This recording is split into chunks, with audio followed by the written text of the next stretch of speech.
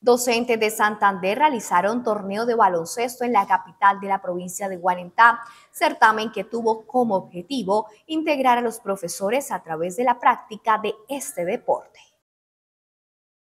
San Gil fue el punto de encuentro para la realización de un torneo de integración entre docentes de diferentes regiones de Santander, quienes participaron de unos partidos de baloncesto que busca generar espacios deportivos y recreativos para ellos mismos. Se trató del primer encuentro del Magisterio Santandereano, cuyo lema es siempre unidos por el Magisterio. ¿Quiénes participaron y, de qué se trató? Eh, la provincia de Guanentá tuvo su representante, la provincia de Comunera, la provincia Beleña, la provincia de Yariguíes, hubo representantes de Bucaramanga y Piedecuesta. ¿De qué se trató que se, llevó a cabo durante este evento? Eh, un torneo de baloncesto en el cual asistieron los equipos representativos de cada, de cada región, incluyendo el equipo campeón departamental del Magisterio de, la rama femenina, que fueron a los pasados Juegos Nacionales del Magisterio.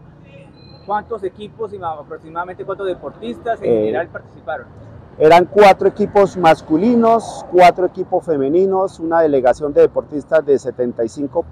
eh, docentes y con sus comitivas sumaron aproximadamente 95 personas aproximadamente. Balance eh, precisamente de esta actividad. Eh, muy positivo, muy positivo sobre todo porque pues fue una iniciativa de los docentes, no fue una iniciativa ni del sindicato ni una iniciativa de la gobernación, sino los docentes que quieren prepararse para los próximos Juegos del Magisterio de Conjunto que se van a celebrar en el año entrante. Entonces ellos, como en este momento no ha habido ninguna actividad deportiva relacionada con el baloncesto, quisieron prepararse, eh, se unieron, hablamos, nos organizamos, la empresa privada, gracias a Dios, eh, varias cooperativas apoyaron, entre esas estuvo Coprodeco Limitada, estuvo Covimag Limitada, Juriscop,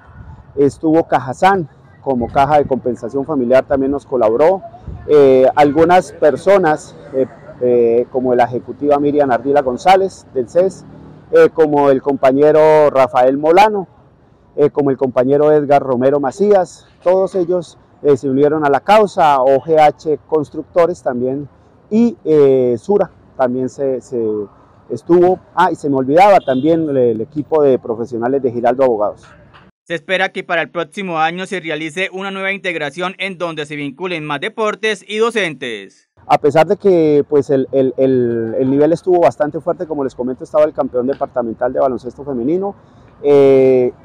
en la provincia de Guarentá se destacó porque le pudo ganar a ese equipo, o sea, el nivel estuvo muy bueno. Entonces, el campeón en la rama femenina fue la provincia de Guarentá, el equipo de Bucaramanga quedó de segundas, el subcampeón en, en masculino. La provincia de Guanentá quedó subcampeón y la provincia de Yariguíes fueron los campeones en la rama masculina. Bueno, este año como ya se van a realizar los Juegos Nacionales Individuales del Magisterio, hay muchos compañeros que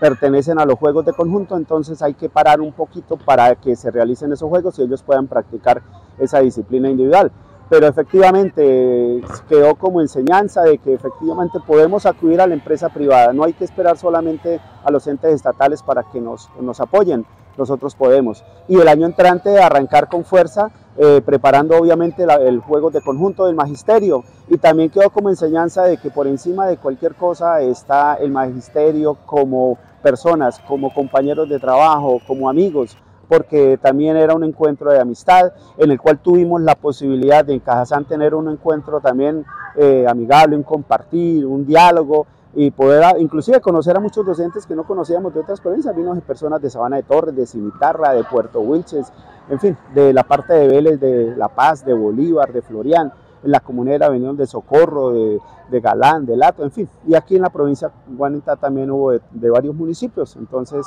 estuvo muy bonito y ojalá, ojalá todos se unieran y pudiéramos rescatar los Juegos de la Amistad Docente que se hacían anteriormente, que duraban tres días en la provincia, así como se realizan actualmente en la provincia de Vélez.